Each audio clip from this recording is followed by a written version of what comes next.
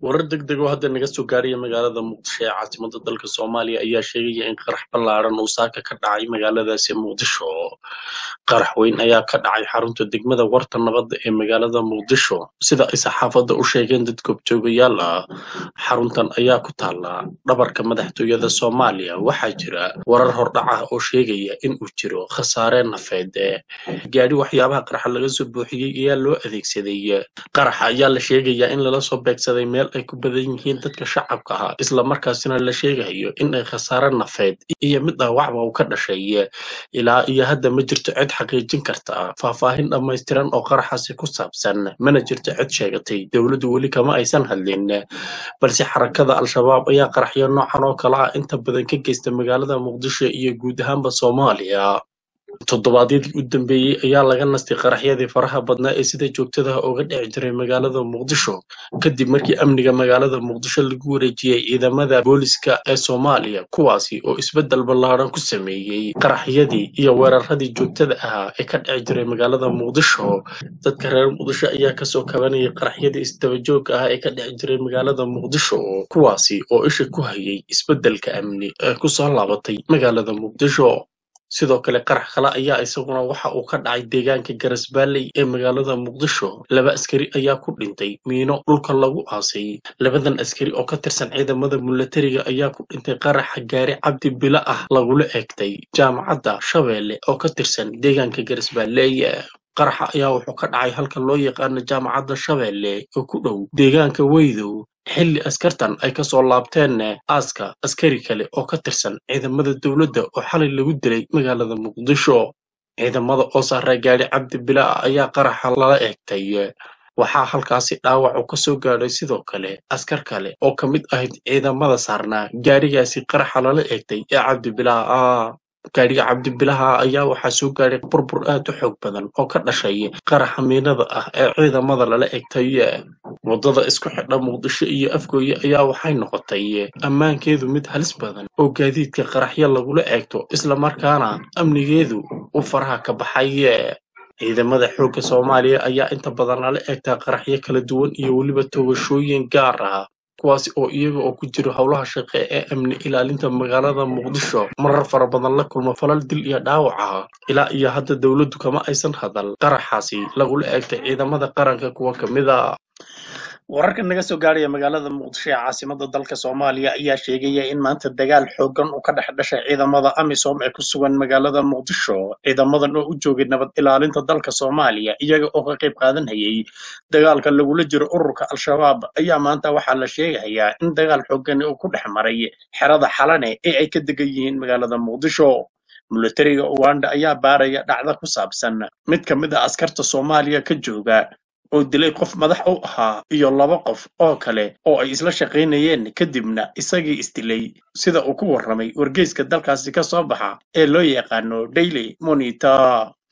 Arrintan ayaa sabtidii ka dhacday saldhigga weyn ee amisom ay ku leedahay soomaaliya ee xalane.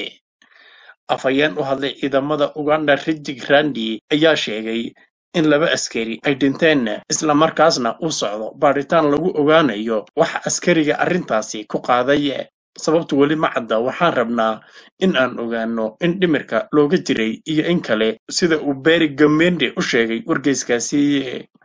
magacyada dadka dhintay weli lama shaacin wax caadiya ma aha in ciidamada uganda ee dalka dibaddiisa ku maqan ay arrintan oo kale ku kacaan sida uu wargeysku sheegay. Uganda ayaa shan kun oo askari ku biirisay ciidamada amisom ee ka howlgala nabad sugidda dalka soomaaliya kuwaasi kuwaasi oo la sheegaya in ay tiradoodu gaadhayso ilaa toban kun oo askari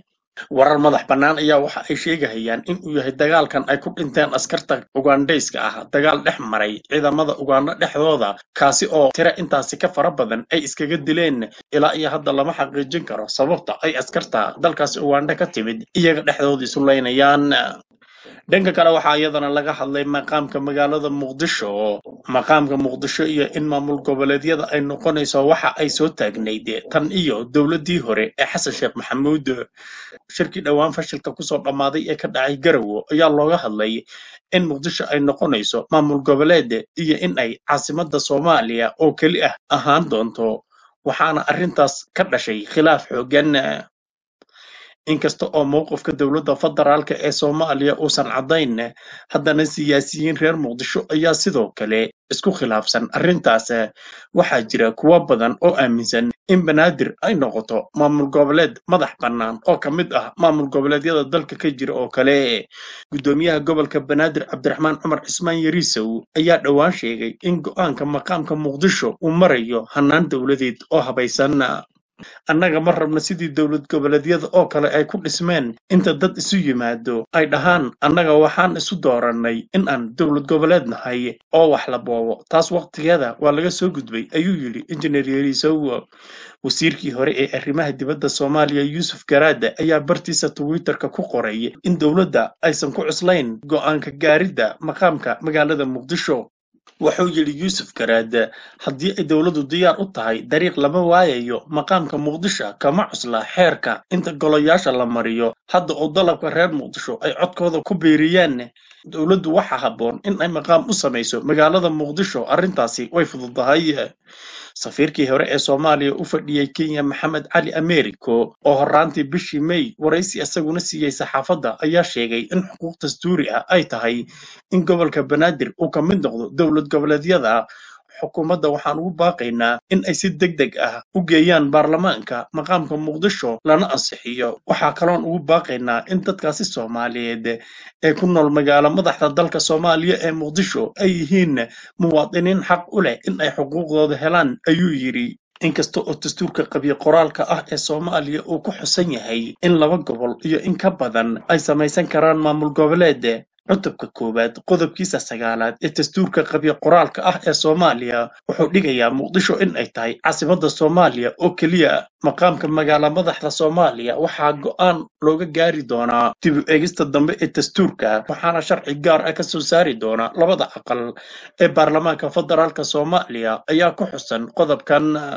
Balse dhammaystirka dastuurka soomaaliya waa qodob ka mid ah kuwa aan ilaa iyo hadda laga heshaynin iyada oo qaar ka mid ah maamul goboleedyada ay sheegayaan in dowladda federaalka ee hadda jirta aysan kala tashan. Qaybo ay sheegeen in la bedelay dastuurka dhanka kale doorashada ka dhici doonta maamul goboleedka jubbaland ayaa ilaa iyo hadda la sheegayaa in uu khalkhal ku jiro. Waxaa si adag u hadlay madaxweynaha maamul goboleedka jubbaland